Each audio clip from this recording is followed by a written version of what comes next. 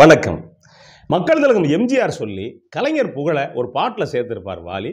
அது எந்த பாட்டு எப்படி சேர்த்தாரு அப்படின்னு தான் பார்க்க போகிறோம் கவிஞர் வாலி. மக்கள் திலகம் எம்ஜிஆருக்கு நெருக்கமானவர் கலைஞர் கருணாநிதிக்கு ரொம்ப நெருக்கமானவர். அப்படிப்பட்ட கவிஞர் வாலி எங்கள் தங்கம் அப்படிங்கிற ஒரு படத்துக்காக பாட்டு எழுத சொல்கிறாங்க இந்த படத்தை க கலைஞருடைய படம் இந்த படத்தில் நடித்தது மக்கள் திலகம் எம்ஜிஆர். செல்வி ஜெயலலிதா நடிச்சிருப்பாங்க.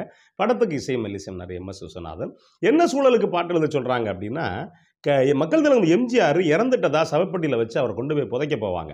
அந்த நேரத்தில் அவர் சவப்பட்டியை உடைச்சு தள்ளிக்கிட்டு வெளியில் வந்து பாடுறது மாதிரியான பாட்டு. என்னன்னா நான் செத்து பொழைச்சவன்டா எமனை பார்த்து சிரிச்சவன்டா அப்படின்னு முதல் ரெண்டு வரியிலேயே அதகலம் பண்ணியிருப்பார் வாலி.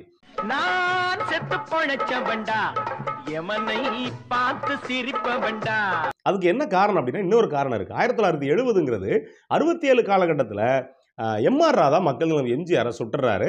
சுட்ட பிறகு அதுவும் கழுத்தில் சுட்டது. உண்மையிலே செத்து பொழைச்சி தான் வெளியில் வர்றாரு. செத்து பொழைச்சி வெளியில் வந்த பிறகு தான் இந்த பாட்டை அவரை வாழ்த்தி எழுதுறாரு. கவிஞர் வாலி நான் செத்து பொழைச்சவன்டா எமனை பார்த்து சிரிச்சவன்டா அப்படின்னு. இந்த பாட்டை முழுசாக எழுதி முடிச்சுட்டு மக்கள் தலம் எம்ஜிஆர்ட்ட காட்டுறதுக்காக கொண்டு போகிறார் அப்போ இருந்த வழக்கம் என்ன அப்படின்னா மக்கள் தலம் எம்ஜிஆருடைய படம்னு வச்சுக்கோங்களேன் ஒரு சொல்லு கூட பாட்டில் அவருக்கு தெரியாமல் வராது. அதனால் எழுதி எடுத்துக்கிட்டு ஜெமினி ஸ்டுடியோவுக்கு போகிறாரு என்ன அப்படின்னா ஜெமினி ஸ்டுடியோவில் நீரும் நெருப்பும் படத்துக்கான மேக்கப்பில் இருக்கார் மக்கள் தலம் எம்ஜிஆர்.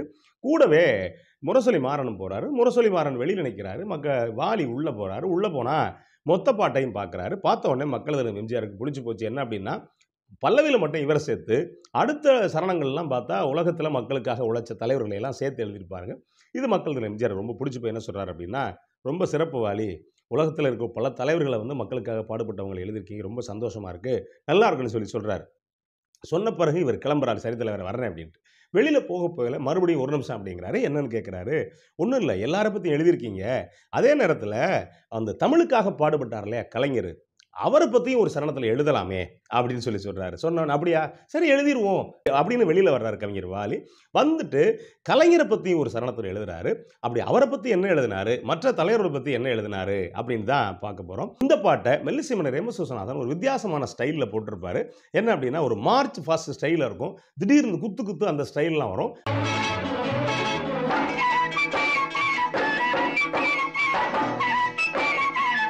பாட்டை ரொம்ப அழகாக பண்ணியிருப்பார். மக்கள் தினம் எம்ஜிஆர் நடிப்பில் பார்த்தீங்கன்னா ஒரு புணத்துக்கு எப்படி நடிக்கும் பார்த்தீங்களா கிட்டத்தட்ட ரோபோ மாதிரி இருக்கும். அதே மாதிரி அந்த கையை காலை ஆட்டுறது இந்த மாதிரி எல்லாம் ரொம்ப அழகாக பண்ணியிருப்பார்.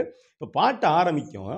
நான் செத்து பொழைச்சவன்டா எமனை பா எமனையும் பார்த்து சிரிப்பவன்டா வாழை போல வெட்ட வெட்ட முளைச்சு சங்கு போல சுட சுட வெளுத்து அப்படின்னு சொல்லிட்டு நான் அந்த மாதிரி ஆள்றா அப்படின்னு சொல்லி பல்லவியிலே முடிச்சிருப்பாரு. முதல் சரணத்தில் இயேசு காந்தி அண்ணா லிங்கன் நாலு பேருடைய புகழையும் சேர்த்திருப்பாரு.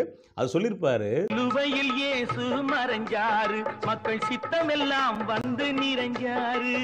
சிலுவையில் இயேசு மறைஞ்சாரு மக்கள் சிந்தையில் அவரோ நிறைஞ்சாரு குண்டுகள் போட்டு தொலைச்சாங்க ஆனால் காந்தியும் லிங்கனும் நிலைச்சாங்க சந்தன பெட்டியில் உறங்குகிறார் அண்ணா சரித்திர புகழுடன் விளங்குகிறார் அப்படின்னு சொல்லி அந்த நாலு பேரையும் சேர்த்திருப்பார். ரெண்டாவது சரணத்தில் கலைஞருடைய புகழை பாடணும். எந்த இடத்த சொல்லியிருப்பார் அப்படின்னா கள்ளக்குடி இந்தி எதிர்ப்பு பிரச்சாரத்தில் கலைஞர் வந்து ரயிலில் த தண்டவாளத்தில் தலை வச்சு படுத்து ஒரு பெரிய போர்க்களம் அனுச்சு அந்த விஷயத்தை சொல்லியிருப்பார். எப்படி அப்படின்னா ஓடும் ரயிலை இடைமறித்து அதன் பாதையில் தனது தலை வைத்து. ஓடும் ரயிலை இடைமறித்து அதன் பாதையில் தனது தலை வைத்து உயிரை துரும்பென தான் மதித்து தமிழ் பெயரை வளர்த்த கூட்டம் இது அப்படின்னு சொல்லி கலைஞருடைய புகழை அவ்வளவு அழகாக சேர்த்துருப்பார். சேர்த்த பிறகு மக்கள் திலகம் எம்ஜிஆருக்கு இந்த பாட்டு ரொம்ப ரொம்பவே பிடிச்சி போச்சு. அந்த வகையில் பார்த்தா பல தலைவர்களோட அந்த கள்ளக்குடி இந்திய எதிர்ப்பு போராட்டத்தையும் இந்த பாட்டில் சேர்த்து மக்கள் திலகம் எம்ஜிஆருக்கு மட்டும் இல்லை கலைஞருக்கே பெருமை சேர்த்திருப்பார் கவிஞர் வாலி. அந்த வகையில் இந்த பாடலை பற்றி பேசியமைக்கு மகிழ்கிறேன். மீண்டும் வேறொரு தலைப்பில் சந்திக்கிறேன். நன்றி. வணக்கம்.